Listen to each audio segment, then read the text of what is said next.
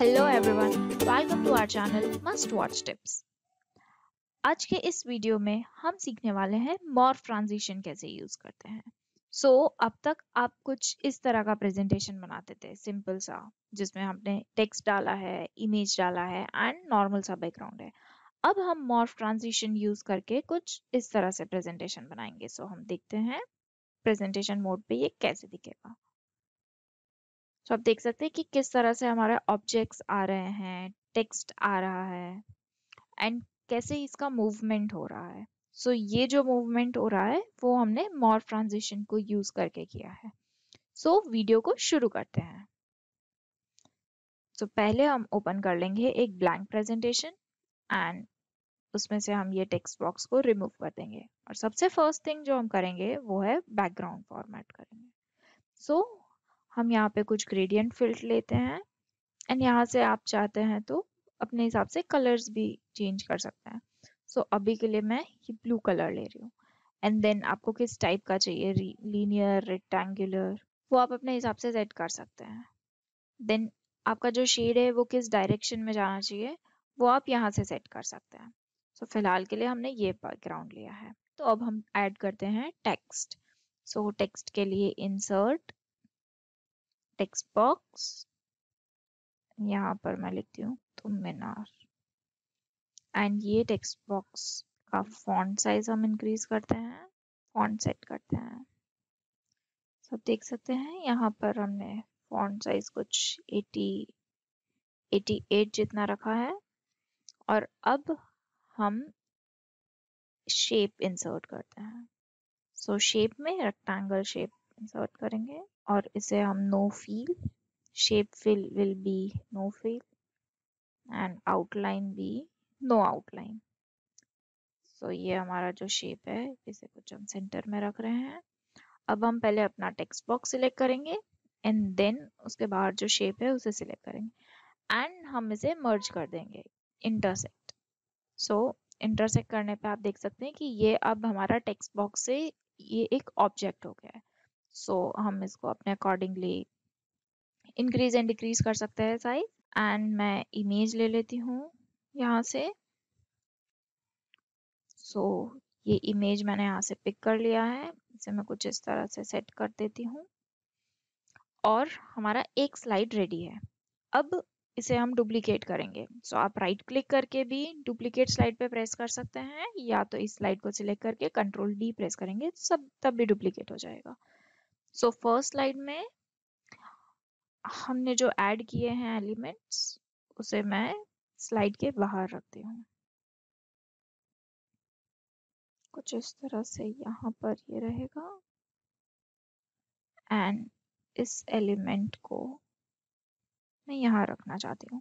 सो so, जब भी हम ट्रांजिशन ऐड करेंगे सो so ये कुतुब मीनार लेफ़्ट साइड से राइट right साइड पे मूव करेगा एंड ये डाउन टू अप मूव करेगा। बिकॉज़ नेक्स्ट स्लाइड में मैंने इस पोजीशन में रखा है। सो so, ये हमारा स्लाइड वन रेडी है एंड स्लाइड टू रेडी है। अब हम स्लाइड थ्री में कंट्रोल डी करके कॉपी करते हैं इसे। स्लाइड थ्री में थोड़ा सा कुतुब मीनार के रिलेटेड कंटेंट्स ऐड करते हैं। और इसमें मैं चाहती हूँ थोड़ा सा इमेज छोटा हो जाए इस तरह का। एंड ये ऐसे हो जाए। और यहाँ से हम कुछ टेक्स्ट कॉपी कर लेते हैं। सो so, ये हमने कुछ टेक्स्ट ऐड कर दिया है। अब आप चाहते हैं अगर इसका कलर चेंज करना सो so, यहाँ का कलर भी चेंज कर सकते हैं आप टेक्स्ट का। सो so, ये हमारा स्लाइड रेडी है कुतुब मीनार के लिए।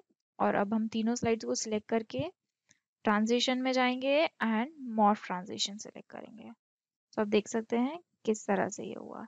सो फ़र्स्ट स्लाइड में जाकर प्रेजेंटेशन मोड ऑन करते हैं।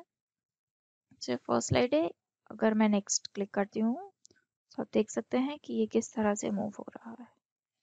इसी तरह, अभी अगर मुझे नेक्स्ट एफिल टावर ऐड करना है सो एफिल टावर ऐड करने के लिए पहले मैं ये सेम तरह से डुप्लीकेट करूँगी स्लाइड को। ये सारा कंटेंट निकाल दूँगी और मैंने यहाँ से एफिल टावर का इमेज एंड टेक्स्ट कॉपी किया है। सो so, अभी मुझे चाहिए कि एफिल टावर मेरा यहाँ पर आए।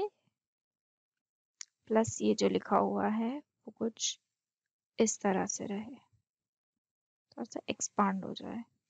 सो so, मैंने यहाँ पर सेट कर दिया है।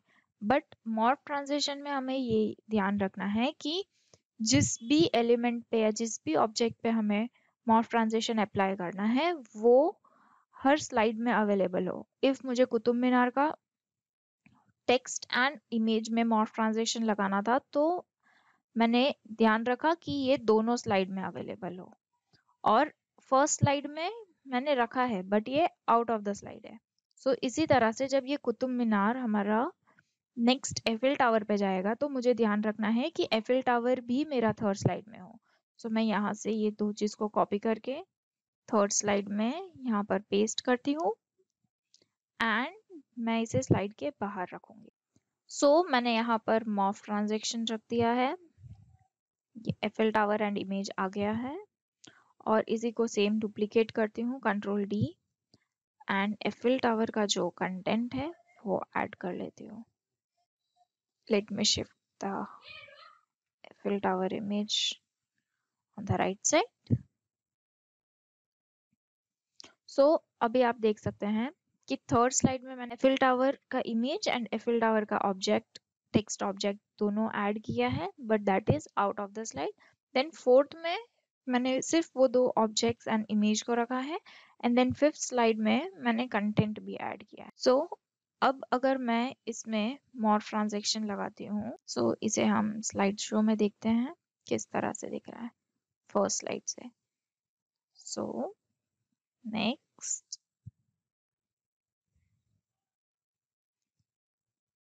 सो आप देख सकते हैं कि हमने थर्ड स्लाइड में एफिल टावर का इमेज एंड ऑब्जेक्ट दोनों रखा था तो फोर्थ स्लाइड में ये मोर ट्रांजेक्शन दिख रहा है। बट इफ़ मैंने थर्ड स्लाइड में ये चीज़ रिमूव कर दी होती तो हमारा नेक्स्ट स्लाइड कैसे आता, वो भी मैं आपको दिखा देती हूँ। सो सेकेंड स्लाइड के बाद हम अगर प्रेजेंटेशन मोड पे जाते हैं एंड देन मैं नेक्स्ट क्लिक करती हूँ, उसके बाद ये डायरेक्ट आ गया है। हमने देखा होगा, ये सिर्फ़ नॉर्मल आ गया है। इमेज और जो ट्रांजिशन था, जिस, पिछली बार हमें दिख रहा था ट्रांजिशन कि किस तरह से इमेज एंड ऑब्जेक्ट मूव हो रहे हैं। एफिल टावर किस तरह से डाउन टू अप जा रहा है वो चीज़ पहले नहीं दिख रही थी। अभी आप देख सकते हैं कि किस तरह से ये अप टू डाउन जा रहा है and image left to right आ रही है। अगर मैंने ये इमेज थर्ड स्लाइड में नहीं रखी होती तो ये सिर्फ़ normal image and text box आ जाता बिना ट्रांजिशन के।